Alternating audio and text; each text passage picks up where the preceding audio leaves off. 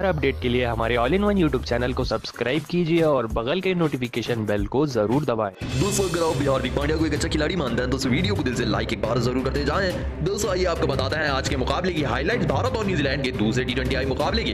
दोस्तों मुकाबले विलियमसन ने टॉस जीता था और गेंदबाजी को चुना था। ऋषभ पंत और ईशान किशन नए सलामी बल्लेबाज बनकर आए थे। दोनों से उम्मीद तो बड़ी थी, लेकिन ये ओपनिंग जोड़ी ज़्यादा देर मैदान पर टिक नहीं पाई, क्योंकि ऋषभ पंत लूकी फर्गुसन की इस गेंद पर हवा में शॉट खेल बैठे और साउदी ने शानदार कैच पकड़ ली, जिस खेलते ऋषभ पंत मात्र छह रन बनाकर आउट हुए तेरह गेंदों का सामना करते हुए, उनके बाद ईशान किसान भी छत्तीस रन बनाकर इस सोडी की इस गेंद पर सामने खड़े फील्डर को कैच दे बैठे छत्तीस रन बनाकर इकतीस गेंदों का सामना करते आउट हुए। दो सौ नंबर पर आए थे सूर्य कुमार यादव और श्रेयस अय्यर। तभी श्रेयस अय्यर भी इस तरीके से हिट विकेट आउट हो गए। मात्र तेरह रन बनाकर नौ गेंदों का सामना करते काफ़ी बुरी तरीके से श्रेयस अय्यर आउट हुए।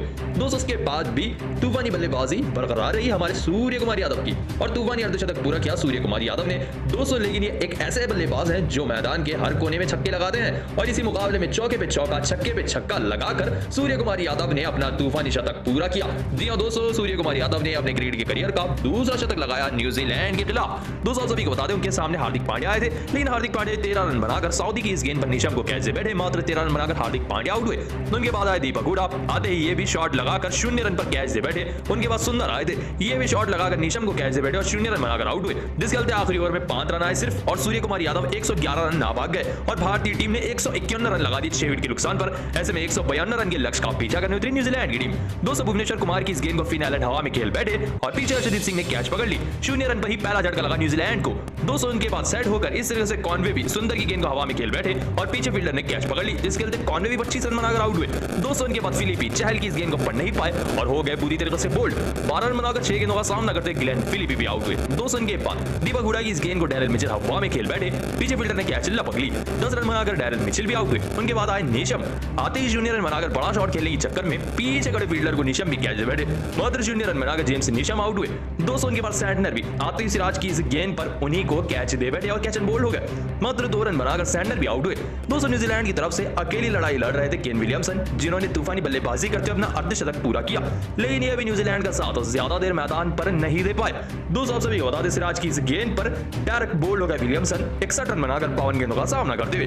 जिसके चलते अंत में कोई भी बल्लेबाज टिक नहीं पाया और भारतीय टीम मुकाबला जीत गई पैंसठ रनों से। जी हाँ दोस्तों, पैंसठ रनों से भारतीय टीम ने बेहतरीन मुकाबला जीत लिया न्यूजीलैंड के खिलाफ। दूसरा टी ट्वेंटी मुकाबला पूरी तरह से भारतीय टीम गिराम रहा जब न्यूजीलैंड की टीम इस मुकाबले में भारतीय टीम का पीछा ही नहीं कर पाई।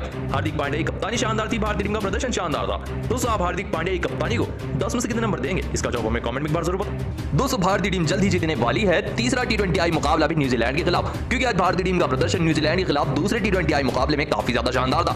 बात करें बल्लेबाजी की तो एक और बार पावर प्ले में हमारी भारतीय टीम ज़्यादा कुछ करिश्मे नहीं कर पाई। लेकिन एक और बार सूर्य कुमार यादव भी ऐसे खिलाड़ी थे जिन्होंने अपनी तूफानी बल्लेबाजी से भारतीय टीम की इज़्ज़त को बचाया और भारतीय टीम को, जहाँ 150 रन भी दूर दिख रहा था, वैसे वक्त पर भारतीय टीम को 190 तक पहुँचाया हमारे सूर्य कुमार यादव ने। दोस्तों उनकी बल्लेबाजी शानदार थी। दोस्तों सूर्य कुमार यादव ने कई महा रिकॉर्ड भी बनाए। सात छक्के व नौ चौके लगाकर एक रनों की शानदार पारी के लिए दोस्तों अगर तीसरे टी ट्वेंटी मुकाबले की बात करें तो वहाँ भी वेदर बता रहा है कि बारिश हो सकती है। लेकिन अगर बारिश हो भी गई तो भी आठ या दस ओवर का मुकाबला ज़रूर होगा। दोस्तों भारतीय टीम का पहला टी ट्वेंटी मुकाबले में प्रदर्शन शानदार था। पैंसठ रनों से न्यूजीलैंड के खिलाफ दूसरे टी ट्वेंटी मुकाबले में भारतीय टीम को जीत मिली। अब बारी है तीसरे टी ट्वेंटी आई मुकाबले की और भारतीय टीम अगर टी ट्वेंटी आई मुकाबला जीत जाती है तो भारतीय टीम सीरीज़ को भी अपने घर ले जाएगी। दोस्तों, आप भारतीय टीम के तूफानी प्रदर्शन को दस में से कितने नंबर देंगे? इसका जवाब हमें कमेंट में बात ज़रूर बताते हुए जाएँ। भारतीय टीम ने न्यूजीलैंड को दूसरे टी ट्वेंटी आई मुकाबले में हरा कर इतिहास रचा है। आइए आपको बताते हैं पूरी हाईलाइट भी और इस मुकाबले से जुड़े कुछ रोमांचक पल दोस्तों, दूसरे टी ट्वेंटी आई मुकाबले में विलियमसन ने टॉस जीता था और गेंदबाजी को चुना था। पहले बल्लेबाजी करते हुए सूर्य कुमार यादव ने बेहतरीन शतक लगाया और उनके क्रिकेट के करियर का दूसरा टी ट्वेंटी आई शतक भी लगाया।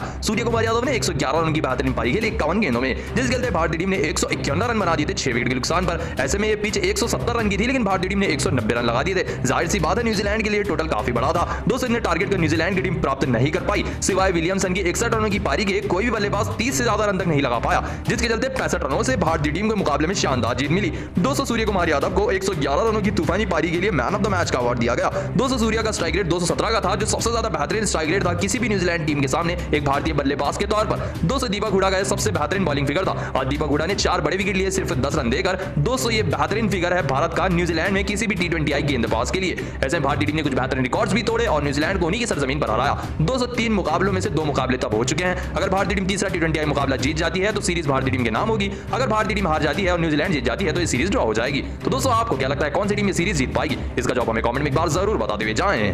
दोस्तों अगर आप भी सूर्य कुमार यादव को एक अच्छा खिलाड़ी मानता है तो वीडियो को दिल से लाइक एक बार ज़रूर करते हुए जाएँ। दोस्तों शुरू हो चुका है, भारत बनाम न्यूजीलैंड का दूसरा टी ट्वेंटी आई मुकाबला।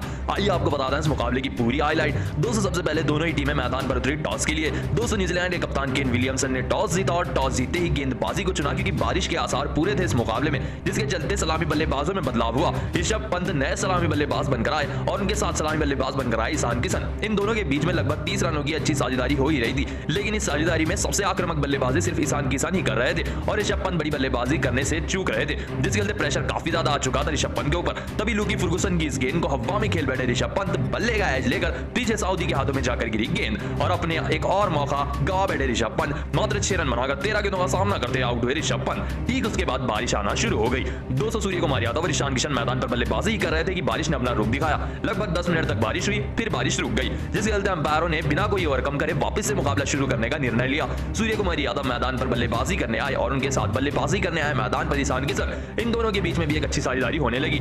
टी मुकाबले में ज़रूरी यही है कि बल्लेबाज सिंगल डबल ले अच्छे शॉट्स लगाए मोमेंटम अपने नाम करे और अच्छी बल्लेबाजी करे। लेकिन ईशान किशन एक और बार अपनी बड़ी गलती कर बैठे। दो रन पर ईशान किशन अच्छी बल्लेबाजी कर ही रहे थे। तब ईशान किशन के सामने इस सोडी आ गए और सोडी की इस गेंद पर पीछे खड़े सऊदी को अपनी कैच ले बैठे ईशान किशन और मात्र छत्तीस रन बनाकर इकतीस गेंदों का सामना करते हुए ईशान किशन आउट हुए। दोस्तों लेकिन उसके बाद भी चट्टान की तरह बल्लेबाजी कर रहे थे स्काई जो कि सूर्य कुमार यादव दोस्तों लेकिन इसके बाद भी सूर्य कुमार यादव ने अपनी तूफानी बल्लेबाजी का दम बरकरार रखा। उनका साथ दे रहे थे हार्दिक पांड्या। लेकिन इस मुकाबले की असली स्टार बल्लेबाज है सूर्य कुमार यादव। दोस्तों, देखते ही देखते सूर्य कुमार यादव ने तूफानी बल्लेबाजी की। दो ओवर में सोलह रन, अठारहवें ओवर में बाईस रन और उसके बाद उन्नीसवें ओवर में भी तेईस रन निकालकर सूर्य कुमार यादव ने सात छक्के व ग्यारह चौके लगाकर अपना तूफानी शतक पूरा किया। जी हाँ दोस्तों, उनके क्रिकेट के करियर का ये दूसरा शतक है टी ट्वेंटी क्रिकेट के करियर का। दोस्तों सूर्य कुमार यादव ने न्यूजीलैंड की सरजमीन पर एक और बेहतरीन अर्धशतक लगाया। दोस्तों, आप सभी को बता दें, श्रेयस अय्यर आउट हुए उसके बाद तेरह रन बनाकर हिट विकेट आउट हो गए थे। दोस्तों, श्रेयस अय्यर के आउट होने के बाद हार्दिक पांड्या आए थे। लेकिन वो भी तेरह रन बनाकर सऊदी की इस गेंद पर नीशम को अपनी कैच बैठे। दोस्तों आखिरी ओवर में तीन बड़े विकेट निकाले थे सऊदी ने और हैट्रिक ली, जिसमें से दीपक हुडा शून्य रन बनाकर आउट हो गए सऊदी की इस गेंद पर। लुकी फुर्गुसन को अपनी कैच देकर उनके बाद वाशिंगटन सुंदर भी मात्र शून्य रन बनाकर इस मुकाबले में आउट होकर रह गए। जिसके चलते आखिरी ओवर में निशम ने तीन बड़े विकेट निकाले और सूर्य कुमार यादव को स्ट्राइक नहीं मिली। लेकिन सूर्य कुमार यादव ने 111 रनों की इस मुकाबले में नाबाद पारी खेली। वो भी सिर्फ़ इक्यावन गेंदों में 11 चौके और सात छक्के लगाकर, जिसके चलते भारतीय टीम एक रन बना चुकी है छह विकेट के नुकसान पर और अब न्यूजीलैंड में मुकाबला जीतने के लिए एक सौ बयान रन लगाने हैं। दोस्तों आप सूर्य कुमार यादव की इस बेहतरीन बल्लेबाजी को दस में से कितने नंबर देंगे? इसका जवाब हमें कमेंट में एक बार ज़रूर बताएँ। दोस्तों, अगर आप भी हार्दिक पांड्या को एक अच्छा खिलाड़ी मानते हैं तो इस वीडियो को लाइक ज़रूर कीजिएगा।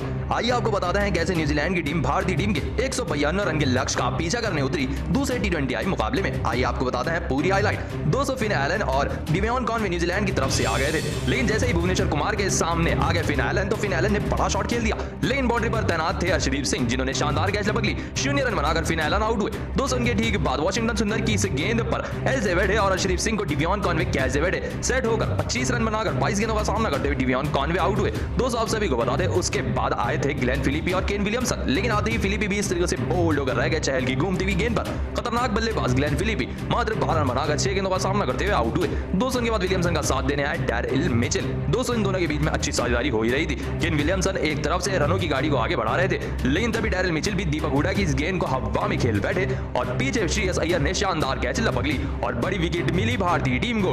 दोस्तों डैरिल मिचेल मात्र दस रन बनाकर ग्यारह गेंदों का सामना करते आउट हुए। दोस्तों दीपक हुडा ने यहाँ से गेंदबाजी की कमान संभाली और अंतिम ओवर में शानदार गेंदबाजी की। दोस्तों उसके बाद बल्लेबाजी करने आए जिमी नीशम और इनके सामने आई युजेंद्र चहल। आते ही ये भी बड़ा शॉट खेलने के चक्कर में हवा में शॉट खेल बैठे और पीछे फील्डर ने शानदार कैच लपक ली जिस चलते नीशम बीस शून्य रन बनाकर तीन गेंद का सामना करते आउट हुए। दोस्तों इनके बाद अकेले बल्लेबाज बचे थे केन विलियमसन। ये अकेली लड़ाई लड़ रहे थे और इन्होंने तूफानी अर्धशतक भी लगाया, लेकिन इनका अर्धशतक ज़्यादा काम में नहीं आ पाया, क्योंकि ये भी इस तरीके से सिराज की गेंद पर हो गए बोल्ड दोस्तों केन विलियमसन भी इकसठ रन बनाकर बावन गेंदों का सामना करते अपनी बड़ी विकेट गवा बैठे, और यहाँ से ढह गई पूरी न्यूजीलैंड की टीम।